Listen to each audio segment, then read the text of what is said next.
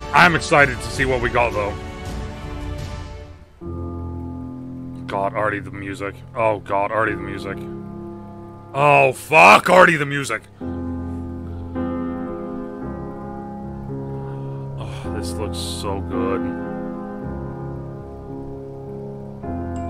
For some reason, Batman just always stood out. It's one of the major characters of the 20th century, and so many people connect to it on such a deep level and for so many different reasons. The first conversation I had with Matt about it, I just knew there was something radically different from anything we'd seen in Batman movies before.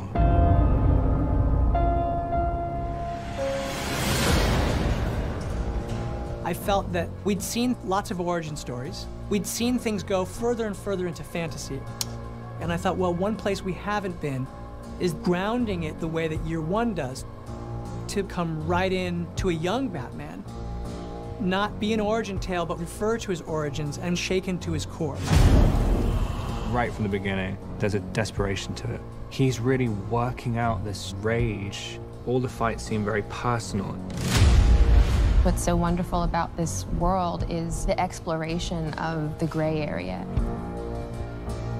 Catwoman really wants to fight for those who don't have someone else to fight for them. And that's where Batman and her really connect. Hmm. He wants to inflict his kind of justice. He's just compelled to do it. There is no other option.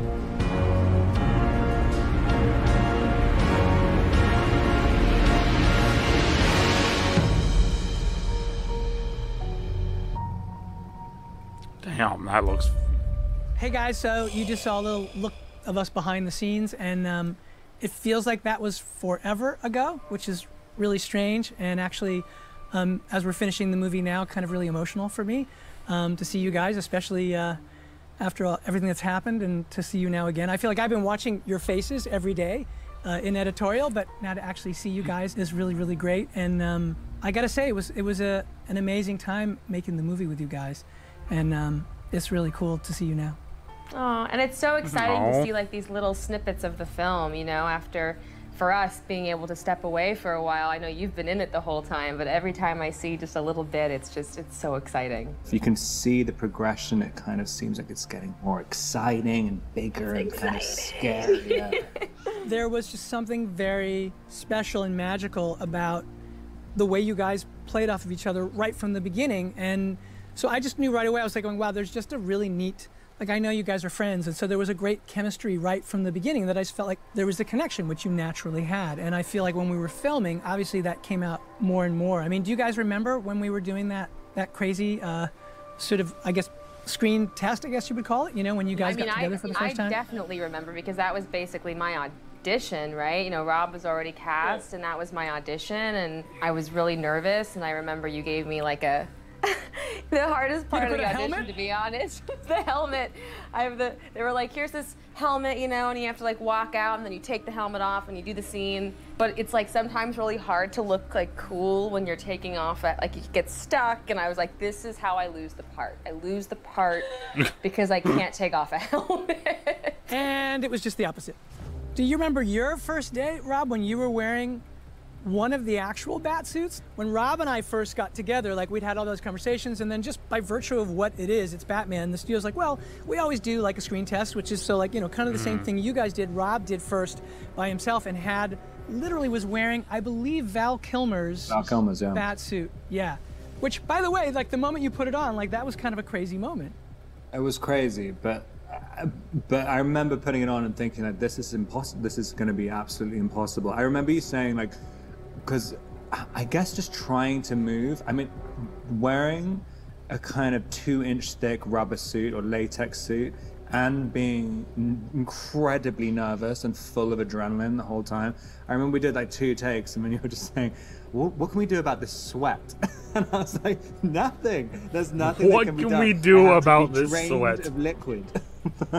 The other thing that I remember too, which is cool because it informed the movie, is at the end of that costume test, where you came and you put on the uh, the eye makeup and began the transformation.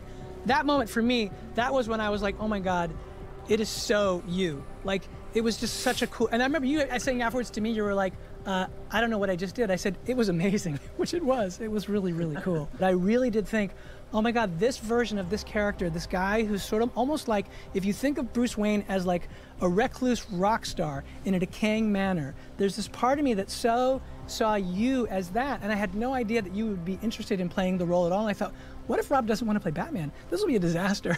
and then it turned out that you completely on your own had a whole path to the same thing, which is that you had been obsessed with Batman for years, and when you found out that we were doing this version, you were very interested. So I was, it was one of those things that for me felt really kind of lucky and faded. and then we met.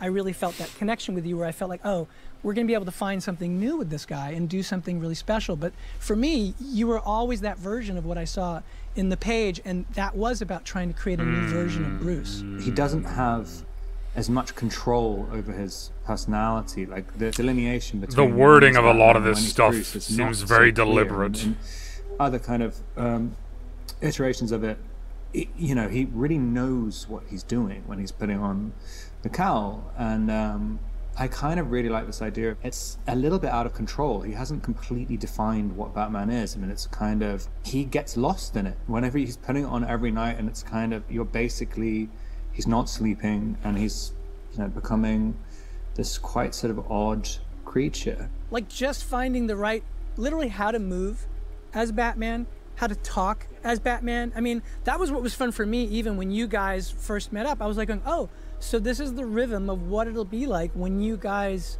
talk to each other. Like even something as simple as that and like the way you came in with like you had for me so you had an attitude that was so selina right from the way you came in. I obviously, you know, understand the gravity of a character like this and what she means to so many people, but what felt really important was to really focus on the story that we're telling in this moment, you know, and um, you know, try and create a real human being. You know, I don't Okay. I don't want her to be an idea.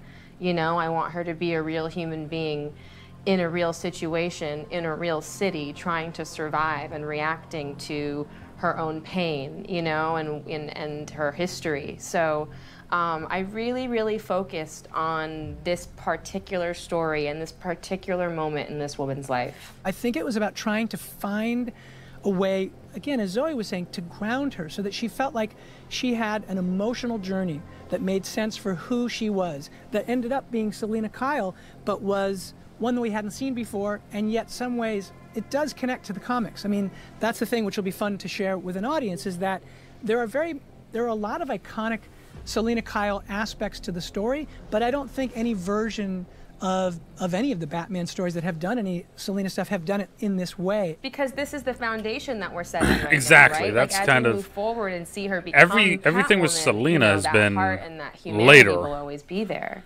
This So is like starting our it. first trailer for our movie last year at DC. Here we go. This And I want to say thank you for the great response. It's only fitting that we share the second trailer with you all today. oh Okay, enough from us.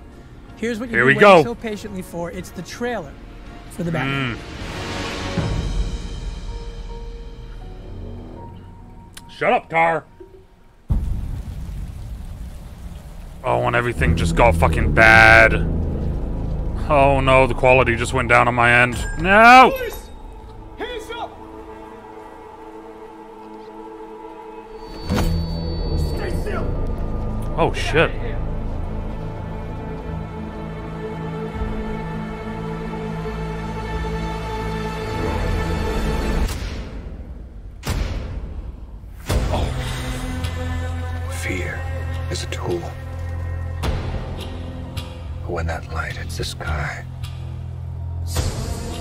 It's not just a call. It's a warning.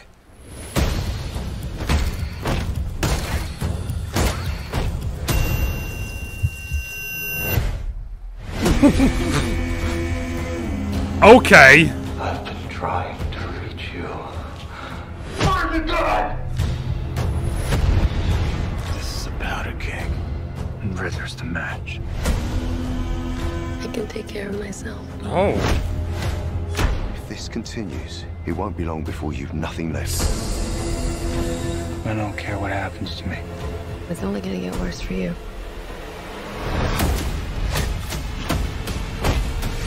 Whoa, take it easy. sweetheart. Okay. Hear everything they say, ain't you? Maybe we're not so different. Who are you under there?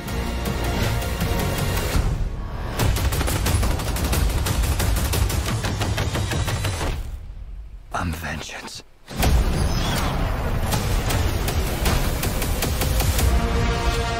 Oh. Bro.